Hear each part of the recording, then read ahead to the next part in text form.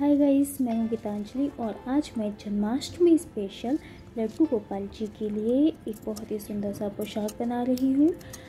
तो मेरे लड्डू गोपाल जी जो हैं, वो एक नंबर के हैं, जिसके लिए मैंने यहाँ पर टेन सेंटीमीटर डायमीटर का मैंने बुकरम लिया है और 12 सेंटीमीटर का मैंने पिंक कलर का कॉटन स्टफ़ लिया है। मैं इस क्वेश्चन को बहुत ही सिंपल वे में बना रही हूँ। यहाँ ज़्यादा कुछ मैं नहीं कर रही हूँ। बहुत ही सिंपल रखा है मैंने इसको। यहाँ पर मैंने सिर्फ़ दो लेसेस यूज़ किए हैं। उसी से मैंने पूरा ड्रेस बनाया है।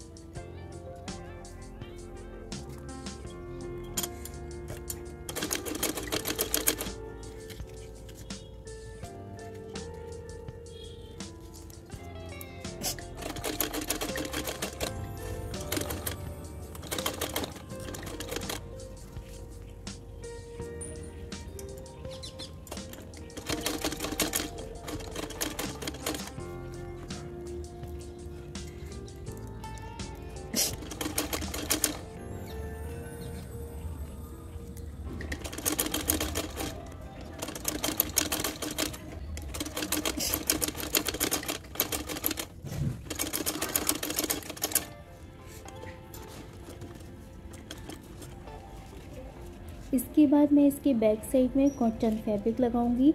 कॉटन फैब्रिक मैं यहाँ इसलिए लगा रही हूँ बिकॉज़ जो बुकरम है वो लड्डू गोपाल जी को चुभे ना।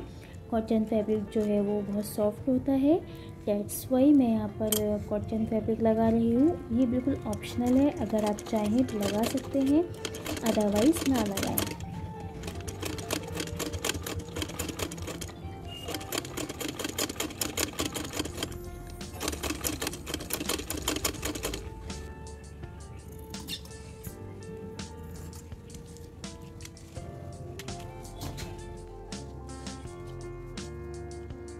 तो ये जो छोटा सा सर्कल है बीच में, ये जो लड्डू गोपाल जी की कमर पे आएगा, ये बहुत छोटा सा है बिकॉज़ मेरे लड्डू गोपाल जी बहुत छोटू से हैं।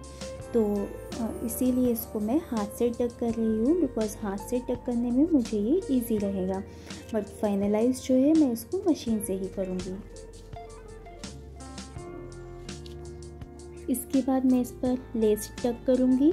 लेस लगाने के लिए मैं मशीन ही यूज़ कर रही हूँ। इससे जो मैंने हाथ से जो सिला था, वो भी मशीन में आ जाएगा और फिनिशिंग अच्छा हो जाएगा।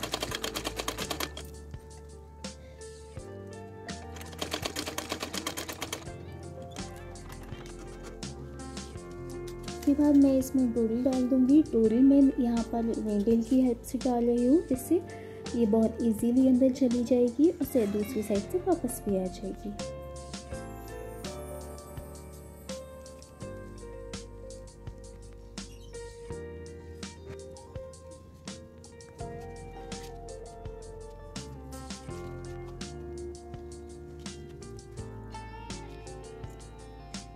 इसके बाद मैं डोरी के एंड्स में थोड़ा सा फेविकोल स्टिक करूँगी, जिससे ये जो मेरे मोती हैं, जो पर्ल्स हैं, ये बहुत इजीली अंदर चले जाएँ।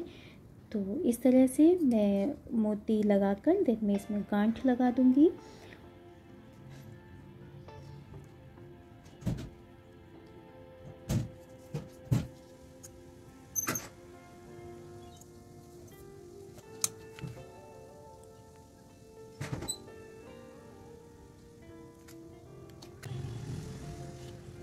इसके बाद मैंने ये 11 सेंटीमीटर का कटआउट लिया है, जिसको मैं इस तरह से फोल्ड करके इसको सी लूँगी देन इस पर भी मैं लेस लगा दूँगी।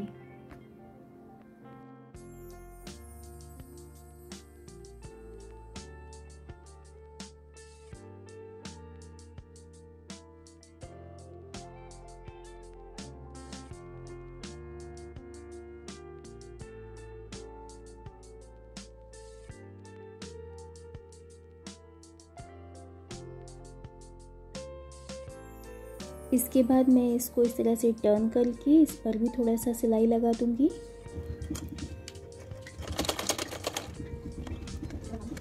यहाँ पर अब हमें बहुत ही सिंपल सा ट्रिक अप्लाई करना है, जिसके लिए मैंने इस ड्रेस को उल्टा कर लिया है और जो नेक वाला पार्ट है, उसको मुझे सीधा रख के इसके ऊपर टक कर देना है। सिलाई के ऊपर मैं सिलाई लगाऊँगी। इस तरह से यहाँ से मैं इसके ऊपर रख के देन इस पर सिलाई लगा दूँगी। एंड ये हमारा जो पोशाक है वो कंप्लीट हो चुका है। अब हम इसको थोड़ा सा सजा देंगे, जिसमें मैं यहाँ पर आर्टिफिशियल फ्लावर्स यूज़ कर रही हूँ। तो यहाँ पर फ्लावर्स यूज़ करने के लिए मैं B seven thousand glue use कर रही हूँ, जिससे फ्लावर्स बहुत इजीली स्टिक हो जाते हैं, बहुत अच्छे से। ये पानी में भी नहीं निकलने वाले हैं बट हाँ अगर आप चाहें तो आप इसको सुई धागे से भी टक कर सकते हैं। और इसके बाद अब हम बनाएँगे लड्डू गोपाल जी की पगड़ी, जो कि सबसे ज़्यादा इजी प्रोसेस है। सो लेट्स सी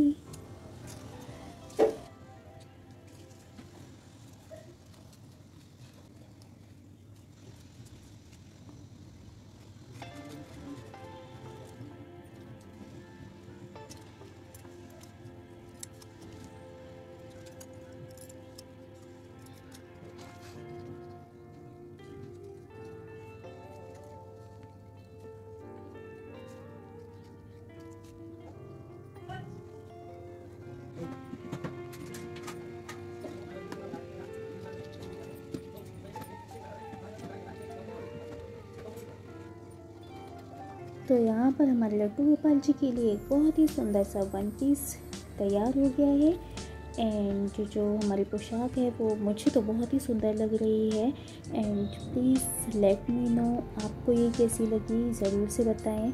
और यहाँ पगड़ी भी रेडी हो गई है और इसको पहनाने का तरीका कुछ ये है कि जो आपका जो सीधा वाला नेक वाला पार्ट है वो आप लेकर उनके नेक में डालेंगे। देन आप नीचे से उनके दोनों पैरों के बीच में से निकाल कर आप उसको सीधा कर देंगे और ये हमारा जो पोशाक है, वो कुछ इस तरह से आएगा। तो अगर आपको मेरा डी आई वाई पसंद आया हो, आपको मेरा वीडियो अच्छा लगा हो then please like share and subscribe my channel thank you so much see you in the next video bye bye